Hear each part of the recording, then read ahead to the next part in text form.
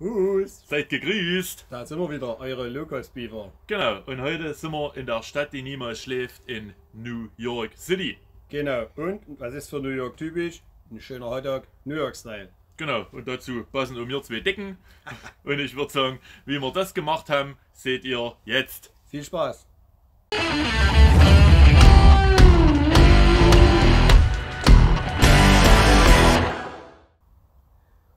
Unseren Hotdog New York Style brauchen wir heute folgende Zutaten. Und zwar die Würstchen haben wir uns für Rinderwurst entschieden. Ist einfach mal was anderes außer das klassische Wiener Würstchen.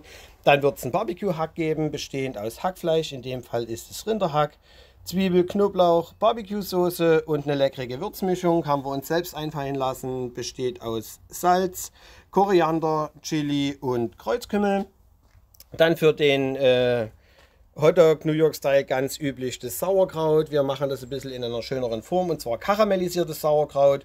Und dann klassisch, was darf nicht fehlen, das Hotdog-Brötchen und natürlich der Käse.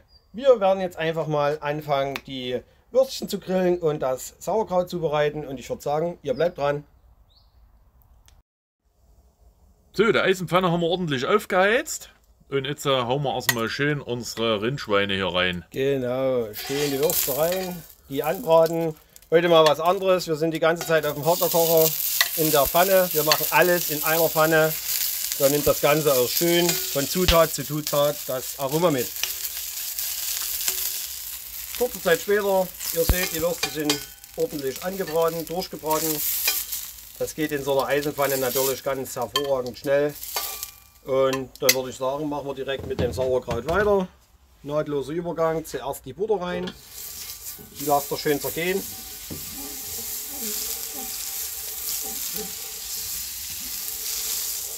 Ja, das seht ihr richtig, dass die Pfanne ordentlich Dampf hat.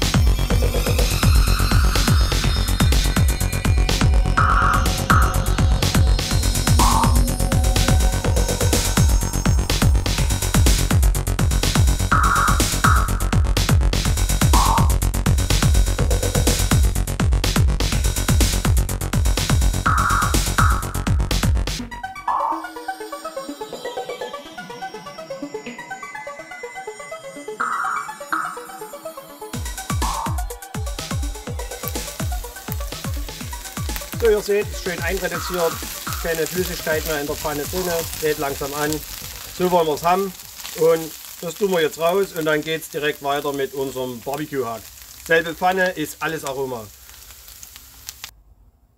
Ja genau, wie der Basti schon gesagt hat, heute zaubern wir gar nicht groß rum.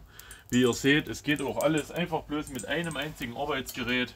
Einfach nur mal eine Pfanne. Ihr braucht eine 20 verschiedene Grills, Töpfe, Pfannen reicht heute auch mal eins. So, hier tun wir jetzt äh, unsere Zwiebel und unser Knoblauch klassisch anschwitzen.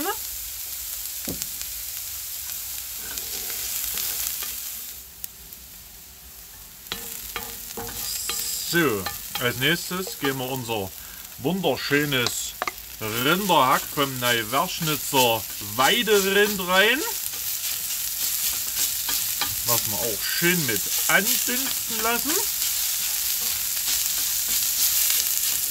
Oh, wenn ihr das riechen könntet, ich sag, das ist wirklich, ist wieder ein Duft. Ich denke aber, das liegt auch an unseren Wiesen und Wäldern hier im wunderschönen Erzgebirge.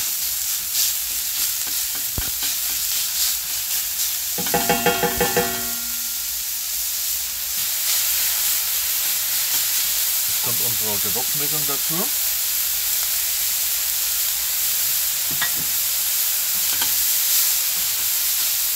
Herrlich.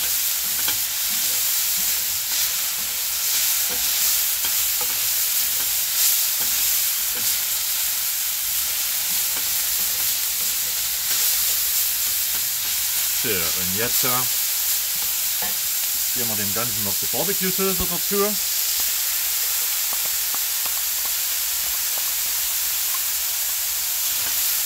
Und die ganze lassen wir genau wie beim Sauerkraut schön mit einreduzieren, dass wir dann eine schöne feste Masse haben, dass es uns nicht vom Hotdog so runterläuft. Aber ich denke, das geht relativ fix hier.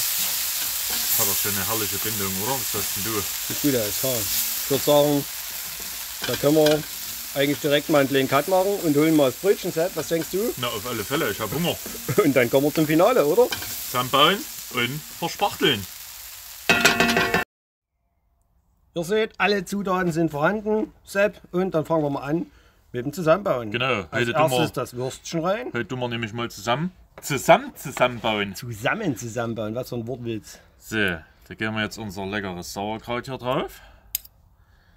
Ich habe Oh, das herrlich. Sauerkraut schon mal verkostet, Freunde. Das müsst ihr unbedingt nachmachen. Einfach herrlich.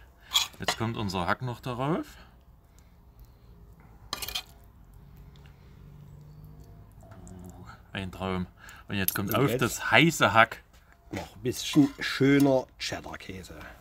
Ihr kennt uns, ohne Käse geht nichts. Nichts.